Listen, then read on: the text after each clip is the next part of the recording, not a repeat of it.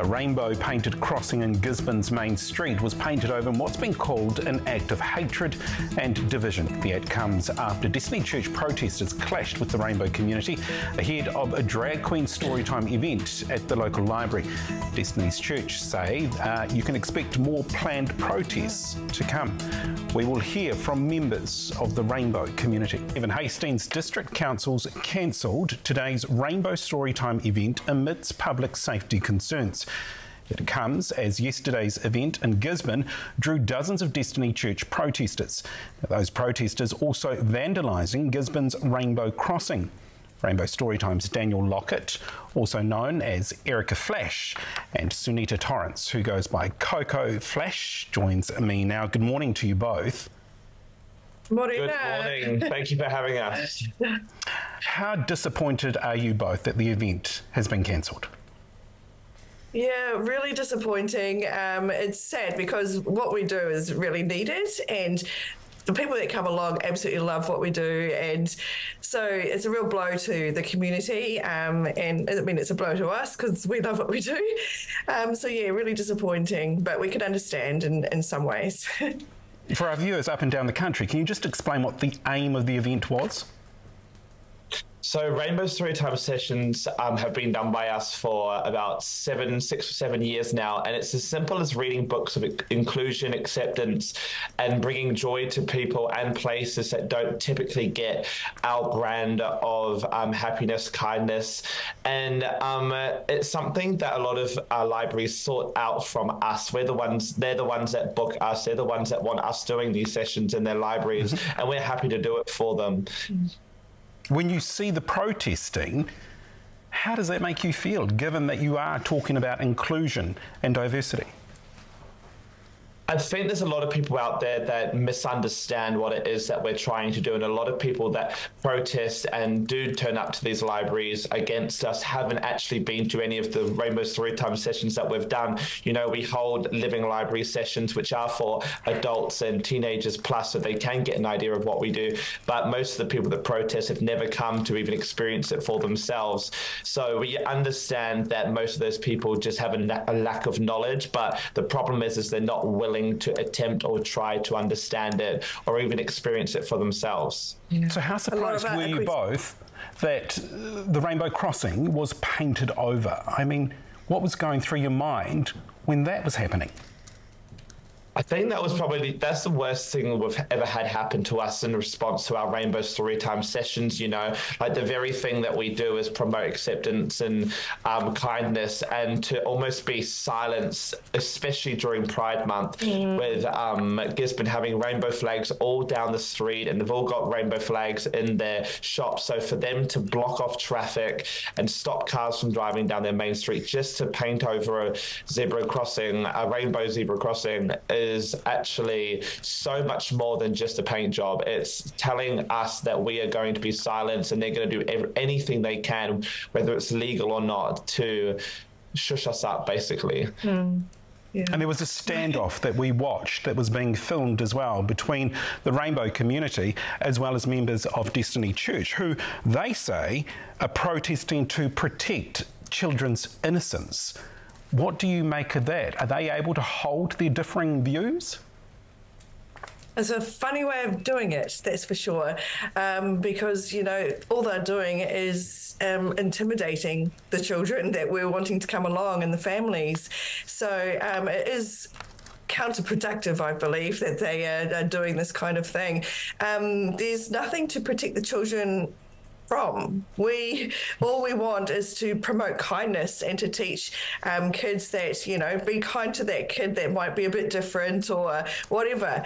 You know, it's it's that's what we're promoting. Whereas they're trying to say no, everyone has to be black and white, and you can only be within those squares. Mm. And we just had footage just playing of it.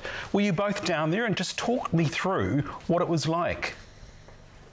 Um, it was definitely um, a sight for sure. You know, we're not we're not foreign to um, protests. We've had a few start to build up as things have gotten um, crazier in the world, and it was um, it, we, we, were very prepared for that to happen with the amount of heat that we were getting online from this particular group. However, it was amazing to see that the group that was counter protesting was almost double the size of the group that were protesting us. You know, and I think the main problem is is that we are giving people an option, a choice to be able to come to these storytime sessions. It's not something that's getting forced onto people.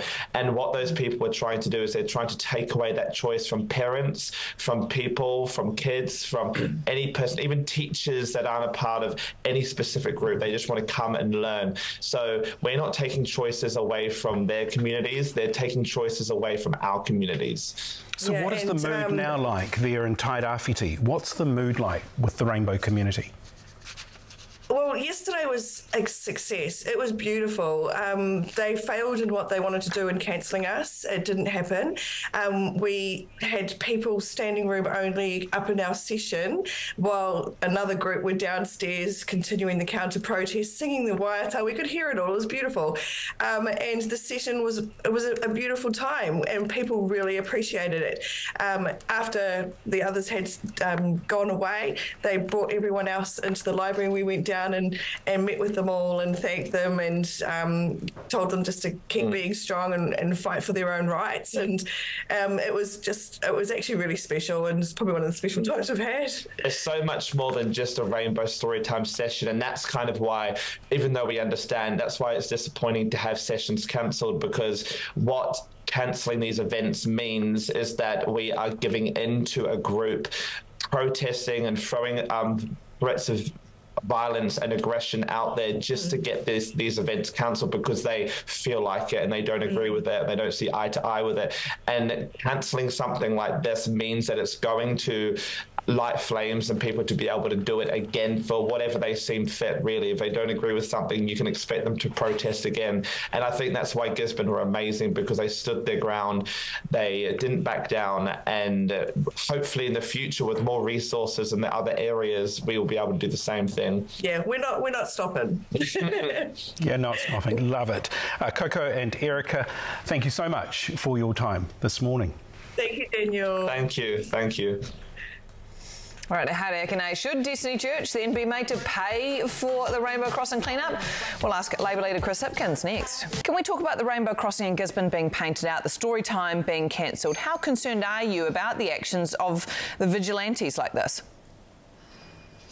Well, I mean, painting out a rainbow crossing is an illegal act of vandalism, um, and so I'm sure they need to be. I hope that they will be held uh, accountable for that. Nobody has the right to go and start painting roads and painting pedestrian crossings. That's a matter for local authorities, and Destiny Church, I'm assuming, did not have permission to do what they did. So it is an illegal act of vandalism, and it should be treated accordingly. I don't have a problem with rainbow story time.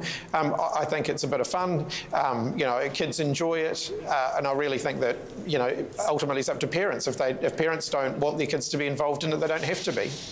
Can I ask you, hate speech laws were not passed under the previous government, your government. They were watered down and then it was dropped. How much responsibility do you take for that then allowing these sorts of groups to flourish and to feel like their actions are not punishable or that they are accepted by wider society? Well, Destiny Church's actions this week have been illegal, so you don't need to change the law because they're already illegal. I mean, it is vandalism what they're doing. Sure, um, they protested as well, and protest is not illegal. Uh, well, and, and I don't want to live in a country where protest does become illegal. Yeah. I think the fact is we have a right to free speech in New Zealand, and that means that people can be offended. It means that people can vehemently disagree with each other. Um, I vehemently disagree with a lot of the anti-trans sentiment out there, with, with pretty much all of the anti-trans sentiment out there. I think it's discriminatory. I think it's objectionable. I think I should be free to say that. I'm not going to say that people aren't allowed to say the things that they're saying, but the best answer to that is for them to be vigorously challenged challenged on that. And I think it's our responsibility as political leaders to do that. And that's exactly what I will continue to do. Do you feel comfortable with where our current legislation sits then, that it doesn't get revisited anytime soon? No, I don't. I mean, it's the reason that we refer as a government to the Law Commission. I do think that there is some further work that needs to be done in this area. It was actually highlighted by the Royal Commission around the terrorist uh, March 15 terrorist attack. Um, but I don't want to proceed in a way that, it, that this itself becomes a very polarising political debate. And so that's why I, as Prime Minister, made the decision to refer that to the Law Commission so that it can be dealt with in a, a, a more objective and an impartial way. They can present advice to the whole of the Parliament, and then political parties can argue about what should happen. But I think getting you know a debate around free speech um, up that is polarising, that splits parties, that is presented as an attack on free speech, I think that's actually going to set the debate backwards rather than deal with what is a legitimate issue that's been identified. Labour leader Chris Hipkins, thanks for joining us this morning. Thank you.